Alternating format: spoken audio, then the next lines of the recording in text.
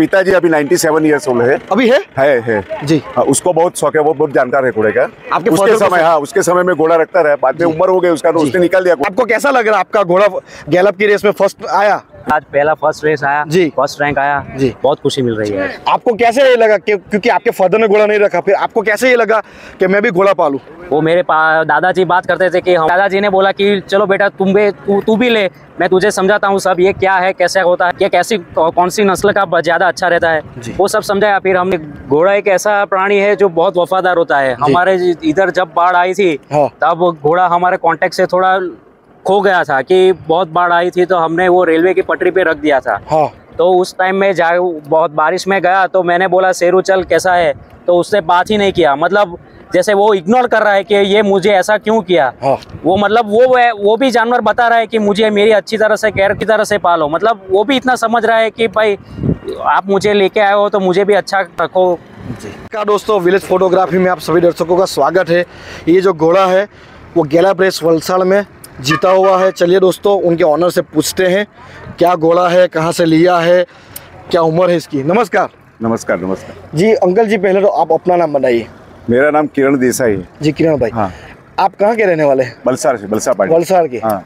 आपका गाँव का नाम? बलसा पार्टी। पार्टी? में हाँ बलसार सिटी में बलसा पार्टी। सिटी में घोड़ा पालना मुश्किल है या आसान है? नहीं थोड़ा मुश्किल है कहाँ के उसको घुमाने की जगह नहीं मिलती है। हाँ, हाँ। और ये घोड़े को आपने खाली अ, रेवाल चलता है या फिर गैलप चलता है? नहीं गैलप ज़्यादा चलता है। गैलप चलता है और आपने इसको रेसर में भी डाला है बग्गी में? हाँ बगी में बगी में चलता है। बग्गी में भी हाँ, चलता बगी में भी चलता है। है जी। और ये इनके सवाल लड़का है मेरी बहू है मेरी पत्नी है। जी आपकी फैमिली हाँ? हमारा सब परिवार है। जी। ये हमारा राइडर है अली भाई। जी अली भाई। का परिवार ये हमारा प्रमोद काका है उसका साथ सकर रहता है उमेश भाई का साथ सकर ज़्यादा रहा है। आपने ये घोड़ा कहाँ से खरीदा? ये राजस्थान से लिया राजस्थान से मालोत्रा मेले से। था। मेले से।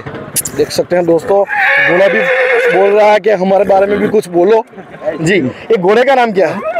वैसे उसका नाम शंभू है लेकिन शेरू करके बुलाता है। शेरू करके आप घर में बुलाते हैं। ऐसा शंभू रखा है उसका। जी इसकी उम्र और हाइट कितनी है? ये सिक्सटी है। सिक्सटी है। हाँ उम्र फाइव ईयर्स है। फाइव ईयर्स है। और मार्किंग बोले तो खाली माथे पे हाँ, जी। यानी आपने बालोतरा मेले से लिया हाँ। बालोत्रा मेले से। किन की सलाह से लिया है? ये उमेश भाई और ये प्रमोद भाई की सलाह से प्रमोद भाई हाँ। जी। वैसे तो हमारे दक्षिण गुजरात में सिंधी घोड़ों का ट्रेंड है पर आपने एक एक मारवाड़ी घोड़ा चूज़ किया इसका क्या रीजन ये है? क्रॉस बीड में है सिंधी और मारवाड़ी। सिंधी मारवाड़ी मिक्स है मिक्स है मिक्स है। मिक्स है सिंधी का भाग ज़्यादा सिंधी का भाग ज़्यादा है उसमें हाँ? सिंधी का भाग पर इसके क्या ये कान था छोटे इसके लिए मारवाड़ इसलिए। जी। हाँ। यानी कि ये मारवाड़ और सिंधी का मिक्स है। मिक्स मिक्स है। जी। दोस्तों अभी क्या इतना सिंधी नस्ल है नहीं अभी? जी। हाँ। जी। और आप आपका परिवार कितने समय से घोड़ों का पालन करता है? ये तो अभी दो साल हुआ है। दो यानी आप नए पहले पहले बहुत रखते थे बाद में बीस साल बंद कर दिया था। जी। अभी दो साल से नया शुरू वापस लिया घोड़ा जी।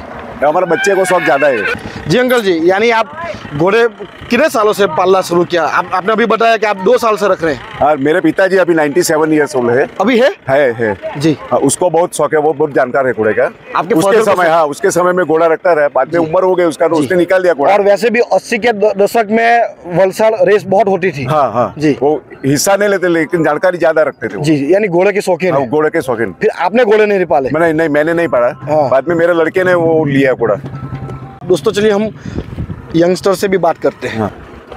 जी आज आपको कैसा लग रहा है? आपका घोड़ा गैलप की रेस में फ़र्स्ट आया? नहीं बहुत अच्छा बहुत अच्छा लग रहा है मुझे। मेरा घोड़ा आज पहला फ़र्स्ट रेस आया जी। फ़र्स्ट रैंक आया। जी। बहुत खुशी मिल रही है। आपको कैसे ये लगा कि क्योंकि आपके फादर ने घोड़ा नहीं रखा फिर आपको कैसे ये लगा कि मैं भी घोड़ा पालू? वो मेरे पा- दादाजी बात करते थे कि हमारे जमाने में हम घोड़े पे जाते थे घोड़े पे ये सब ऐसा वैसा। तो मैं भी सोचा कि आगे आप लोग करते हो तो मुझे मेरे जान में क्यों नहीं है कि मैं क्यों नहीं देख सकता घोड़ा? तो मेरे दादाजी ने बोला कि चलो बेटा तुम भी तू तू भी ले।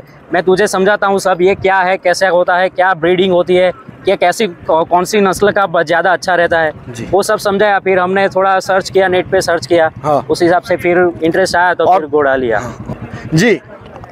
हाँ और कहीं ना कहीं हमारे ब्लड में भी थोड़ा घोड़ों अश्वपालक का खून दौड़ता है तो फिर उस हिसाब से अच्छा।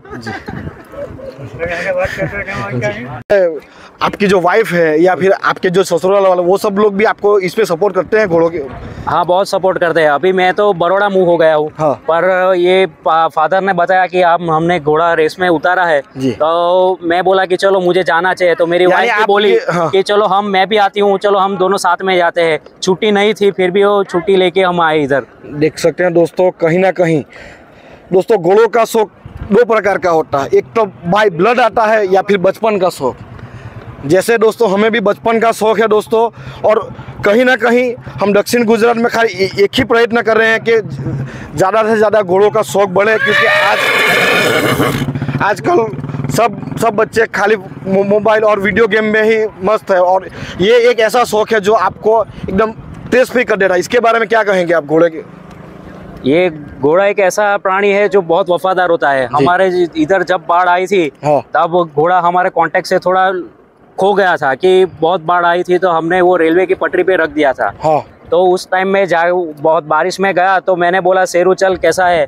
तो उसने बात ही नहीं किया। मतलब जैसे वो इग्नोर कर रहा है कि ये मुझे ऐसा क्यों किया? हाँ। वो मतलब वो वो भी जानवर बता रहा है कि मुझे मेरी अच्छी तरह से केयर करो ये करो वो करो हाँ। कि मुझे भी अच्छी तरह से पालो। मतलब वो भी इतना समझ रहा है कि भाई आप मुझे लेके आए हो तो मुझे भी अच्छा ट्रीटमेंट दो मुझे अच्छा रखो।